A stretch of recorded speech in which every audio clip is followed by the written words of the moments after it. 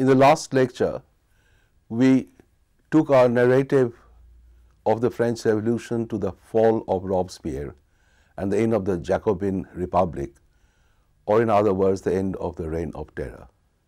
Today, we take a little break from the chronological narrative and look at two related but important issues of the role of women during the revolution and the cultural aspect of the revolution.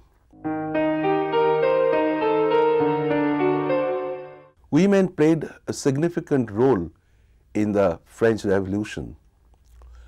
One of the abiding pictures that we have is from Dickens's A Tale of Two Cities, the picture of Madame Defarge knitting by the side of the guillotine. In contemporary engravings and paintings, we have picture of women in the barricades, in the long braid queues, and generally mixed with the revolutionary crowd during almost each of the revolutionary insurrections that we have. Another very clear imprint is that of women leading a long procession to bring back the baker, the baker's wife, and the baker's boy from Versailles to Paris that really uh, at a level crystallized the revolution.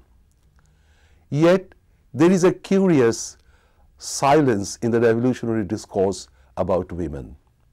The Declaration of the Rights of Man virtually declared the rights of man only, excluding as it did women. Women's rights, political rights particularly, did not figure.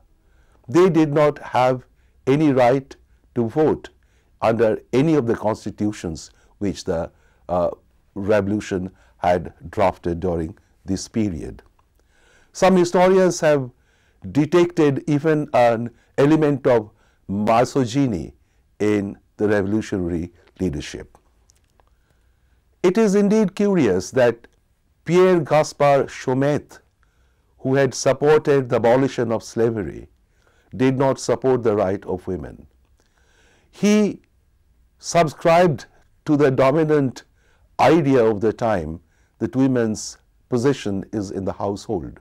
Again, it is strange that he could find the link between the Declaration of the Rights of Man and the question of the freedom of the slaves, but did not find any connection between the Declaration and the rights of women.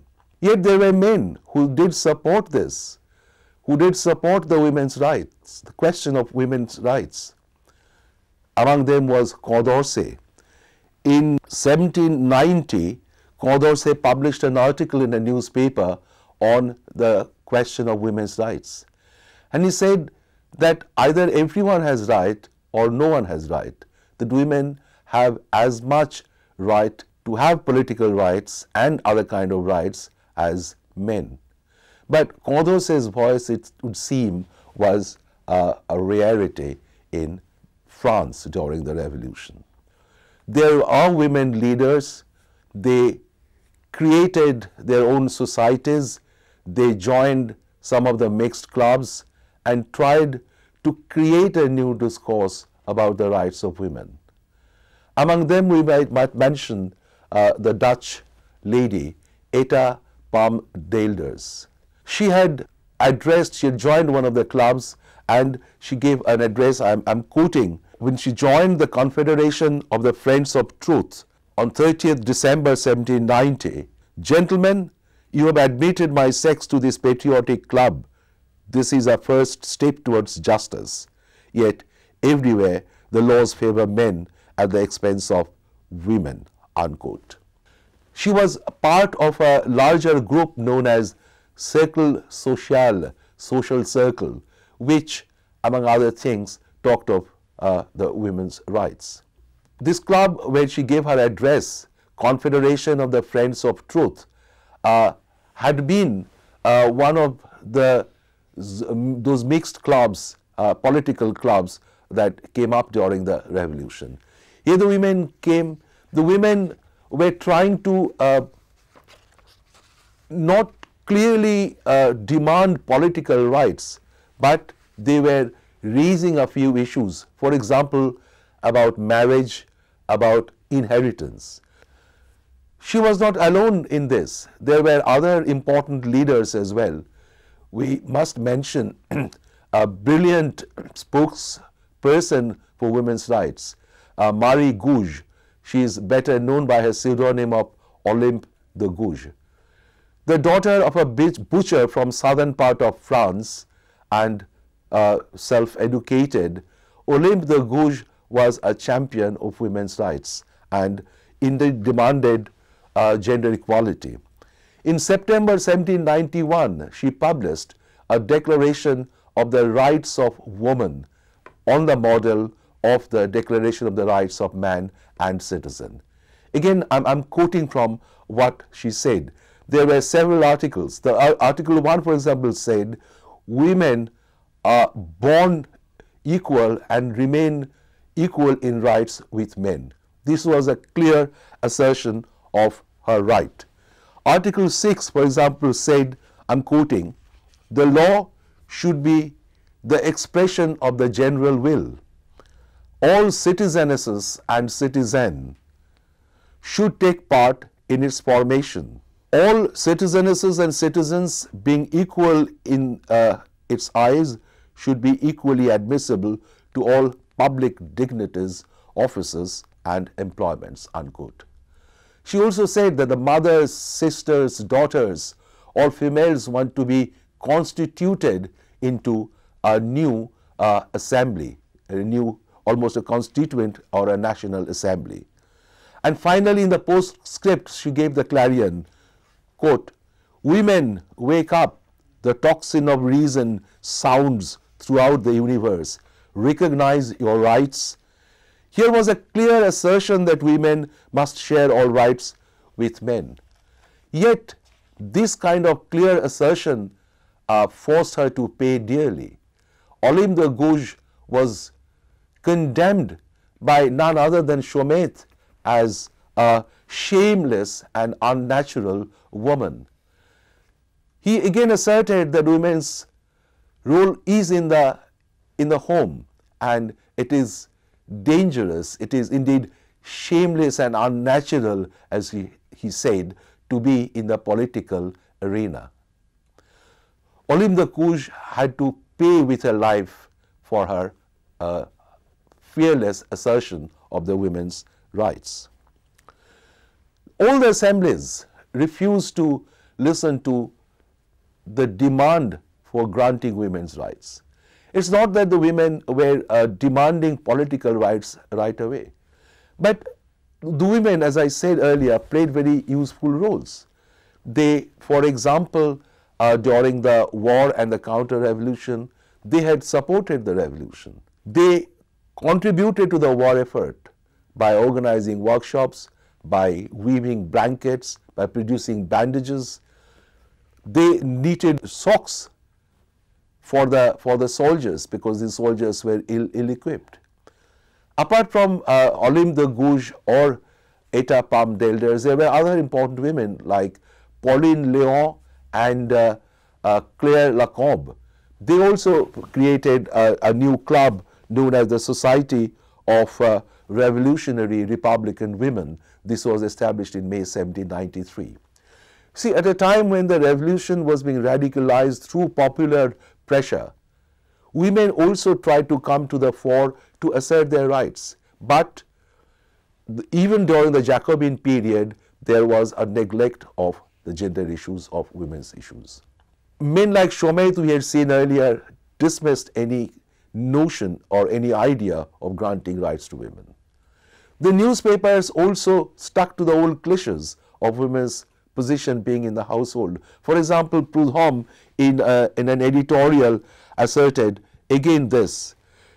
He said they ought to raise the family, instill private virtue and stay out of public affairs. Yet there were some who were, were uh, in, in favor of granting them rights, like uh, Lanjuinais or Pierre Guyomar. Guyomar in particularly said that man in the Declaration of the Rights of Man and uh, Citizen is a generic term. It includes women. Man means uh, granting of right to everyone. Claire Lacombe and Pauline Léon were two other very important uh, leaders, as I said. There were also about 60 such societies or clubs that women had uh, set up for themselves. These were spread uh, all over France, but they were concentrated as it would be only be natural in Paris. There was also a, a, a club called the Amazon Club. Here we have women who did not want rights, but who wanted to fight as soldiers. They wanted uniforms. There were, however, a, a whole lot of misgivings about uh, women demanding these rights. Uh, a group of women indeed came to the convention and complained that some revolutionary and militant women were forcing them to wear the cap of liberty, the red cap of liberty. Several members in the assembly took exception to this and very soon the convention decreed that there should be liberty of dress. No one should be obliged or forced to do something. Then again there was a demand and this was led by uh, Amar, uh, Jean-Baptiste Amar in, in October 1793 that all the political clubs and societies must be closed down. And this is precisely what happened. By the, at the end of October, the convention simply decreed that all women's clubs and societies remain closed. Now, this then is in brief the position of women during the revolution. They demanded rights but did not quite get them. It would, however, be wrong to believe that women did not have any role. I have told up icons, but you have the abiding icon of liberty, for example, when reason was being worshipped, the goddess of reason was conceived of as a woman. Delacroix has immortalized in his painting Liberty Leading the People, and liberty here is a woman iconized as liberty. So there was a curious dichotomy that is difficult to explain. Women did, however, play a significant role during the revolution. They clamored for their rights, at least some women did. They set up their own societies, their own clubs. They joined the mixed sex clubs. They were on the streets. They joined the revolutionary crowd and in this way were able to create a discourse of their own. Their rights were not won during that decade, but they were won much later. And it would not be far-fetched to say that many of the basic questions relating to women's rights movements later could be traced back to this decade of the French Revolution. We now shift to culture. Recent historiography has somewhat moved away from the mainstream narratives of political, economic and social history to look at the cultural domain as well. The historians have used uh, such other disciplines as sociology, linguistics, anthropology, etc., to try and delineate the broader framework within which to locate the cultural shift that one finds during the uh, revolution. Emmet Kennedy, in fact, calls the French Revolution a profound cultural experience. Culture no longer meant simply cataloging the paintings or, or, or sculptures which were made during the revolution. It denoted uh, it, it had a wider connotation now. The names of places, for example, were changed very, very, very quickly. For example, Rue de Vierge became Rue Voltaire. Ile de Saint-Louis became Ile de la Fraternité. Now, all these indicated a new ethos, a new culture that was being uh, created in the process of the revolutionary revolution being made. Revisionist historians had drawn our attention to a very significant thing, the birth of a new political culture during the revolution.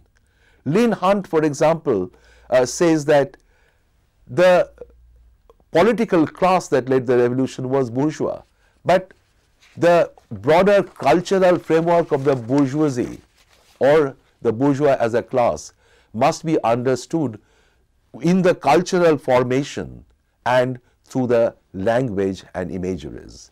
As uh, Gwynne Lewis, a recent historian, has said, that the aim of the revolution was to create l'homme nouveau, a new man. Now, we, we would have to very briefly look at the dimensions of the new culture during the revolutionary period. Let us begin with religion. Now, the religious sensibility had been undergoing a process of change in course of the 18th century. The context of enlightenment was indeed very significant. Uh, it has been shown that belief was probably on the decline even before the revolution had started. But first, the official uh, approach to religion. The first attack that the revolution made was the civil constitution of the clergy. Uh, there is one historian who would call the oath that the clergy were required to take now to be a seminal event uh, even within the revolutionary decade. There was a wide regional variety in the taking of the oath. Uh, we, we had seen that the revolution, uh, this, this civil constitution of the clergy virtually split the religious life of France down the middle. There were many who did not take the oath and many who did. There was Hébert, Jacques Hébert and his dechristianization movement. We had seen earlier in the context of the Reign of Terror that this was a very radical movement which uh, through the Paris Commune, for example, in Paris, tried to stop all religious ceremonies even within the church they had stopped it outside the church, they confined it to the church, and then there was a move to even close down the churches.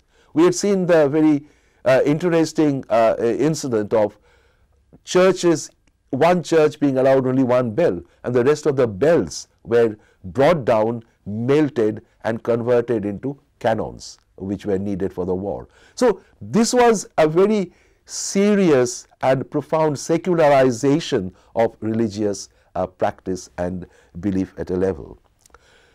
The dechristianization movement went beyond. There was worship of reason, and indeed, Notre Dame was converted into the temple of reason. There was a Chenier who composed the song, and the, he was a poet, along with composer Gossec, he composed the hymn to liberty. The hymn to liberty was in a way, the new anthem. A whole new attitude was now to be disseminated amongst the people. The movement was short lived, but it had cultural significance. Then we have Robespierre and his supreme being.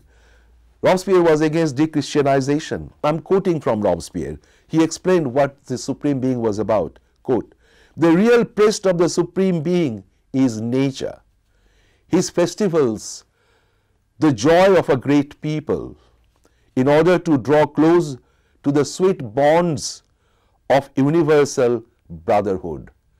Unquote. As Gwynne Lewis puts it, one could almost hear Rousseau breathe Amen uh, by the side of Robespierre. So, secularization of ethics, secularization of festivals, uh, Festival of Reason, Festival of Liberty, there were numerous such festivals and this had been a part of the cultural shift that one does detect in the revolutionary decade.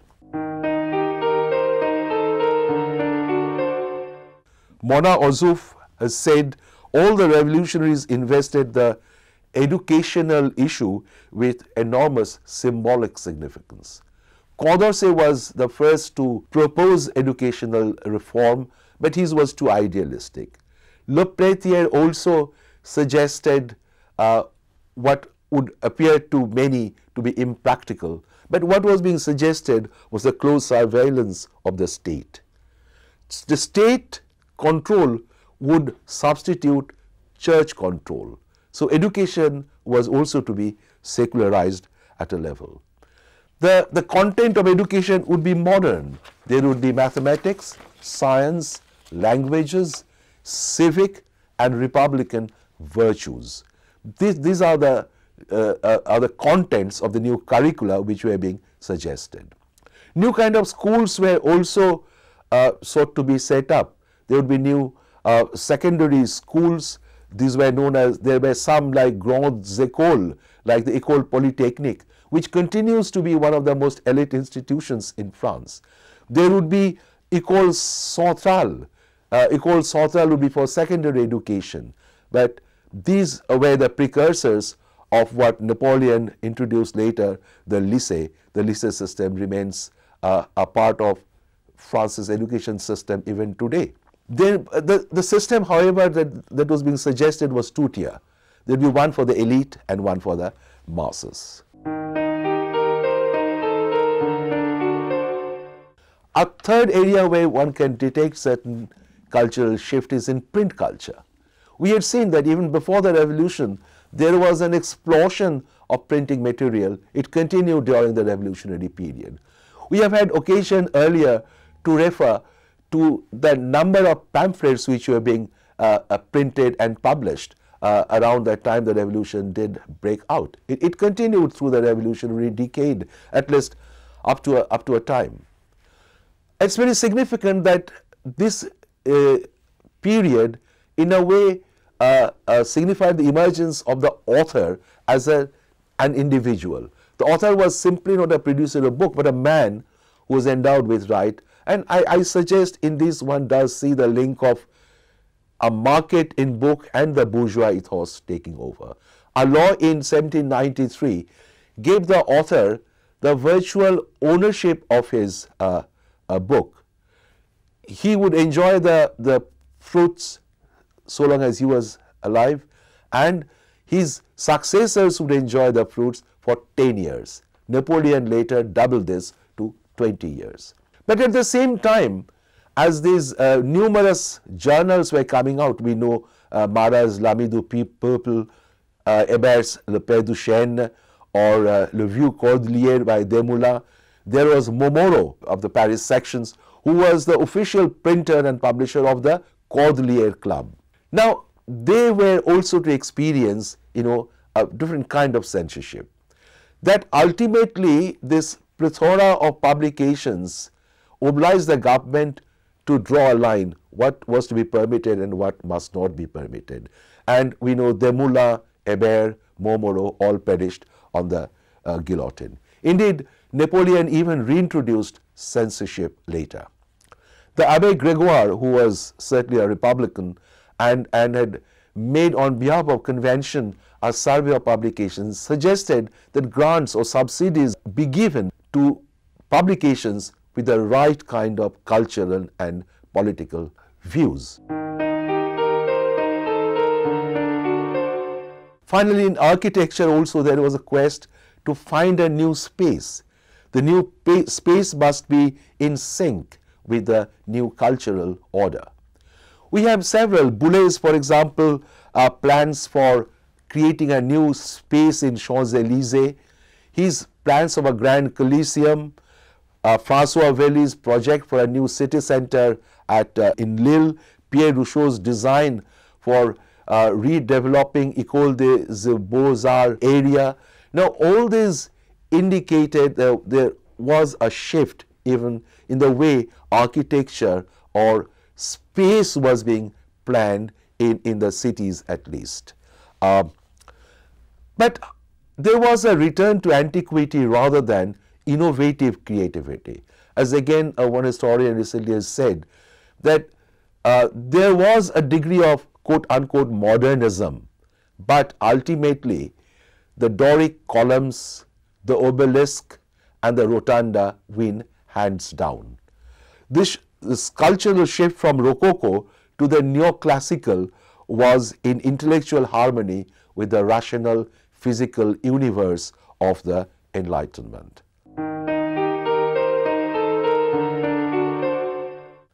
And in painting, the final point to which we come, there was the colossal figure of Jacques-Louis David. David was an outstanding painter of the period, bringing new and revolutionary sensibility into his creation. Tennis court oath, the assassination of Marat, you can name hundreds by, by him. And he wanted to come out to emancipation from the stultifying experience of the uh, Royal Academy. And he declared, French nation, it is your glory that I wish to propagate. Uh, he contributed significantly to the uh, cultural formation of the nation.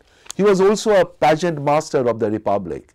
And in this, we, we find that uh, he had a very important role in playing, uh, uh, in organizing the revolutionary festivals, etc. I, I, may end with uh, a description of two Herculeses that we have. Hercules was being used uh, twice in the Festival of Unity and Indivisibility of the Republic on 10th August 1793 and Supreme Being in 1794. As Lynn Hunt says, Hercules in the first one is a rugged and brutal figure, in the second is composed and classical in his demeanor.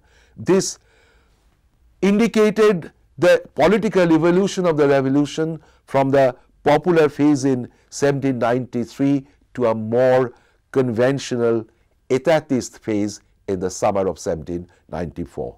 The people, however, in the meantime had been controlled as Lynn Hunt puts it.